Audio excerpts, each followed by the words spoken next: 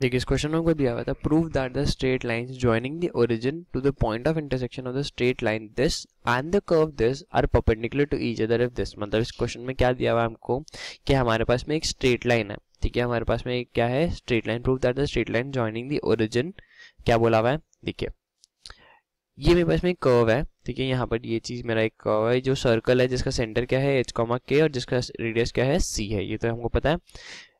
Joining the origin to the point of intersection of the straight line this and the curve this मतलब क्या बोला? आप देखिए यहाँ पर एक ये स्ट्रेट लाइन है तो मैं एक स्ट्रेट लाइन बना दी, ठीक है? तो इसका जो पॉइंट ऑफ़ इंटरसेक्शन है, ये एक पॉइंट ऑफ़ इंटरसेक्शन और ये एक पॉइंट ऑफ़ इंटरसेक्शन जब मैं इसको जो ओरिजिन से पास कर रहा हूँ, ये जब मैंने इसको ऐसा ओरिजिन से पास किया तो ये जो एंगल आना चाहिए वो क्या आना चाहिए? 90 डिग्री इस क्वेश्चन के हिसाब से ये दिया हुआ हमको, ठीक है? तो उसकी जो कंडीशन है वो ये होनी चाहिए। Square plus k square is equals to c square देखिए डायग्राम के अकॉर्डिंग नहीं लग रहा है ऑब्वियसली बट ऐसा हमको करना है बेसिकली हमको ये चीज़ ट्राई करनी है कि ये जो वैल्यू है, जो एंगल है, वो क्या हो जाए 90 डिग्री पे आ जाए, ठीक है?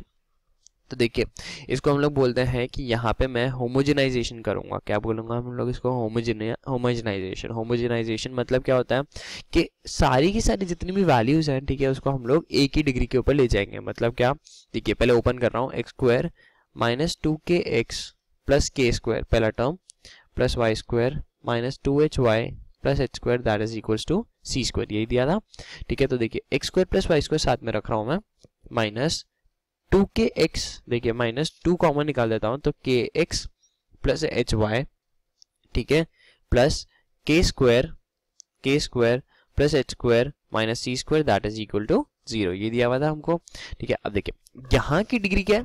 यहाँ की डिग्री तो टू है। यहाँ की डिग्री क्या है? इस इक्वेशन की डिग्री ये इक्वेशन की डिग्री तो वन है। यहाँ की डिग्री टू है और यहाँ की डिग्री क्या है? ज़ीरो है। पावर के हिसाब से। एक्स और वाई की पावर के हिसाब से बोल रहा हूँ देखिए एक्स यहाँ पे पावर वन यहाँ पे वाई की पावर वन यहाँ पे टू यहाँ पे टू यहाँ पे है ही नहीं तो यहाँ पे ज़ीरो तो अब क्या करूँगा? मैं यहाँ पे डिग्री वन करने की ट्राई करता हूँ यहाँ पे डिग्री टू करने की ट्राई करता हूँ। वो कैसे करूँगा? देखिए, मेरे को एक स्ट्रेट लाइन की इक्वेशन दी हुई है। H x plus k y that is equal to two h k तो मैं यहाँ से बोल सकता हूँ h x plus k y upon by two h k that is equal to one ये चलेगा ना टू एच को यहाँ ले आया? तब देखिए यहाँ पे इंटू वन तो है, और इस इक्वेशन में क्या होगा? इंटू वन स्क्वायर जानबूझ के मैं क्या कर? रहा हूँ डबल डिग्री का ट्राई कर रहा हूँ, ताकि ये चीज़ स्क्वायर में फॉर्म हो। तो अब देखिए क्या होगा?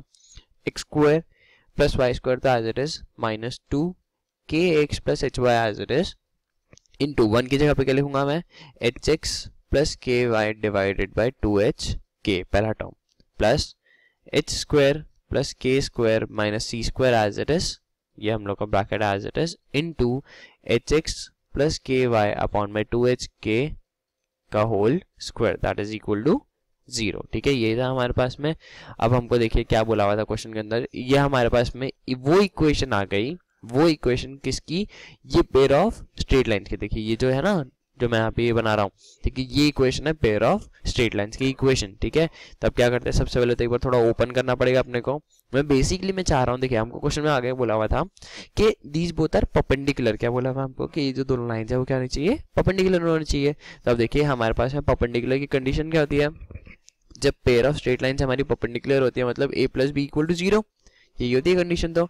A plus b plus a plus b equal to zero मतलब coefficient of x square and coefficient of y square of y square that is equals to zero sorry coefficient of x square plus coefficient of y square equal to zero right तब देखिए coefficient of x square और y square कहाँ कहाँ से आएँगे मैं बस वो वो टर्म्स लिखता हूँ सबसे पहले इसका coefficient that is वन देखिए ये चीज़ वन ठीक है प्लस वन वाई स्क्वायर का कोएफिशिएंट देखिए यहाँ से आएगा ना वाई स्क्वायर का कोएफिशिएंट दैट इज़ वन यहाँ पर से देखिए आप सिर्फ़ एक्स स्क्वायर और वाई स्क्वायर के कोएफिशिएंट में कॉन्सेंट्रेट करने अपने ये रहा देखिए।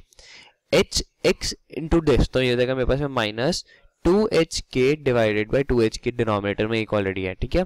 ये हो गया एक्स स्क्वायर का कोएफिशिएंट वापस है वाई स्क्वायर का कोएफिशिएंट ये वाला टर्म ये क्या हो जाएगा? Minus two h k divided by two h k ये हो गया, यहाँ से बाकी टर्म्स भी आएँगे बट मेरे को कोई काम का नहीं है बिकॉज़ मेरे को यही मेन इंपॉर्टेंट कंडीशन है तो मैंने उसके अकॉर्डिंग ये लगा रहा हूँ। अब यहाँ पे देखिए एक्स स्क्वायर वाई स्क्वायर का कोएफिशिएंट क्या आएगा? एक होगा h square plus k square minus c square था एज इट इज़ इन क्या आएगा? एच स्क्वायर ये वाला आएगा ना h square divided by four h square k square पहला टर्म ठीक है? प्लस दूसरा वाला क्या आएगा? H square plus k square minus c square minus c square into दूसरा वाला क्या आएगा? K square divided by four h square k square that is equal to zero right तो देखिए two h k two h k cancel two h k two h k ये one आएगा, ये भी वन होगा तो ये plus two minus two cancel तो मेरे पास में क्या बच रहा है? डिवाइड में जो four h four h square k square है ना, उसको मैं ज़ीरो में डाल रहा हूँ और ऊपर से कॉमन निकाल रहा हूँ h square plus k square minus c square तो क्या बच जाएगा मेरे पास में?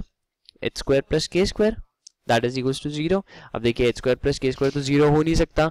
क्यों? बिकॉज़ ये तो एच और के तो हम लोग के, अगर ज़ीरो हो गया तो लाइन ही नहीं बचेगी। देखिए, ये जो लाइन है, ये जो लाइन है, अगर एच और के की वैल्यू ज़ीरो हो गई तो वो तो लाइन ही नहीं बचेगी। तो वो तो ज़ीरो नहीं हो सकता। तो हमारे पास यहाँ से कंडीशन आएगी h square plus k square is equal to c square देखिए, यही कंडीशन हमको यहाँ पे प्रूफ करनी थी।